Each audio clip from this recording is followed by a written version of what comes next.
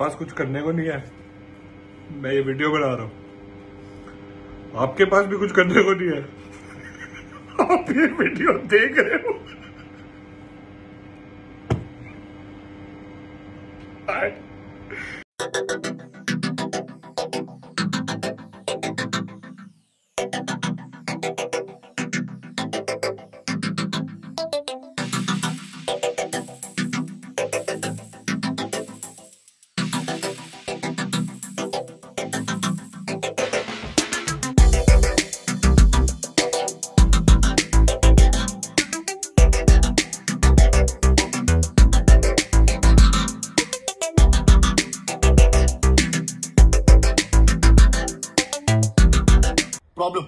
Problem यह है कि हम सब जीनियस हैं।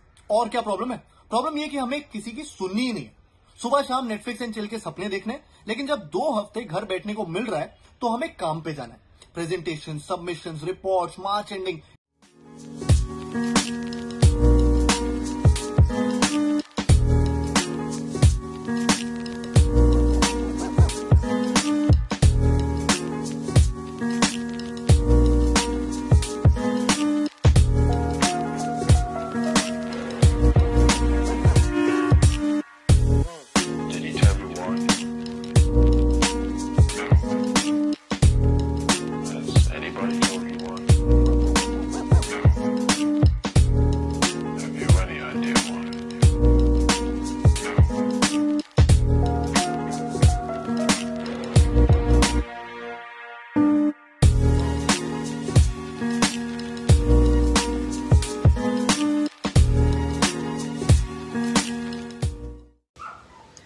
Hi guys, um, I hope you're all safe out there. Um, I just wanted to come in and say hello.